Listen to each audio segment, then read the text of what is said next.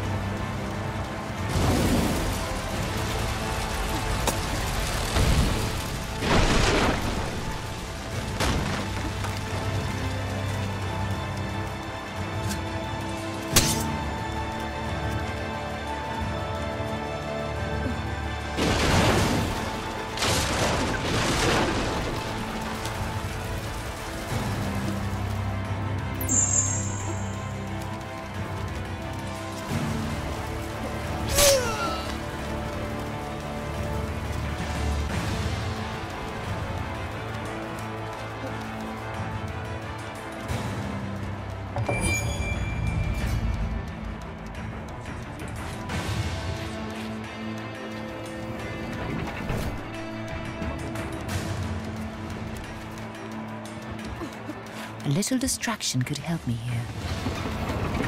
保持警觉，我们得保持戒备才行。最好快逃吧！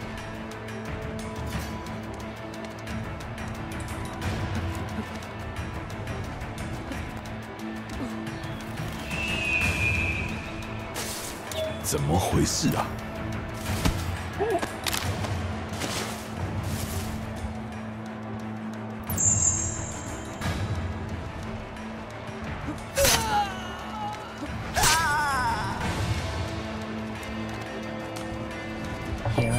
Zhang Yong.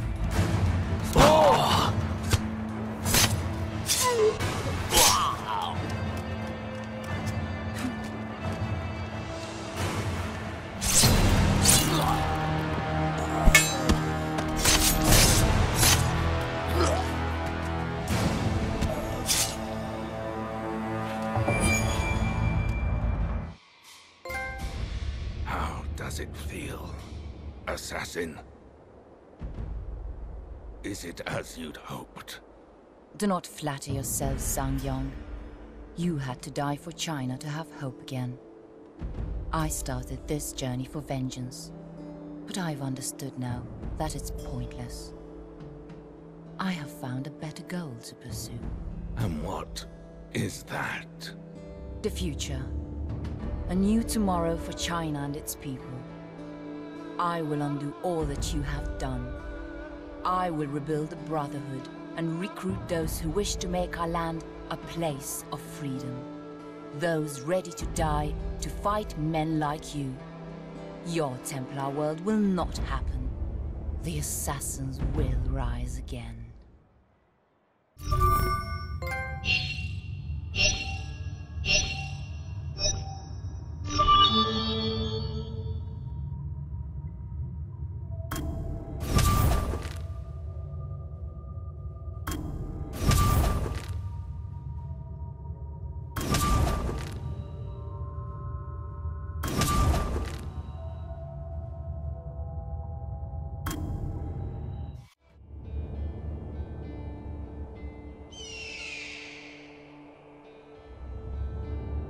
Mentor, the Emperor is dead.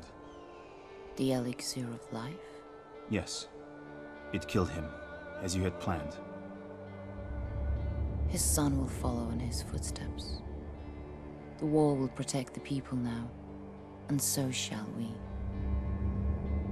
Mentor, last time we talked, you were telling me about Master Auditore's precursor box.